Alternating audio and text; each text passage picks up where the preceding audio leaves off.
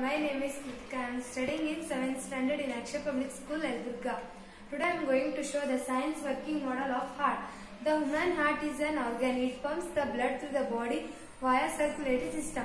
It's supplying oxygen and nutrients to the tissues and removing carbon dioxide and other wastes.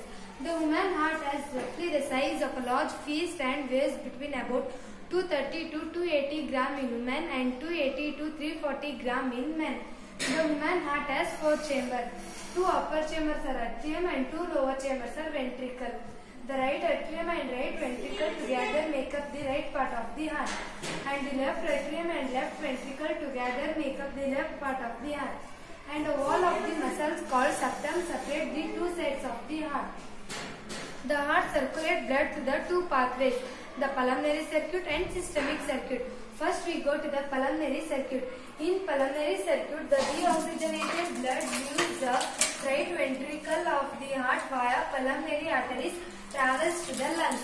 Then the oxygenated left atrium of the heart via pulmonary vein. Next we go to the second one systematic circuit. In systematic circuit, the oxygenated blood leaves the body via left ventricle to the aorta and from the enters arteries and capillaries where it supplies body's tissues with oxygen. Then the deoxygenated blood leaves the returns via veins to the vena cava re-entering the heart right atrium and this is all about the function of the human heart. Thank you and all.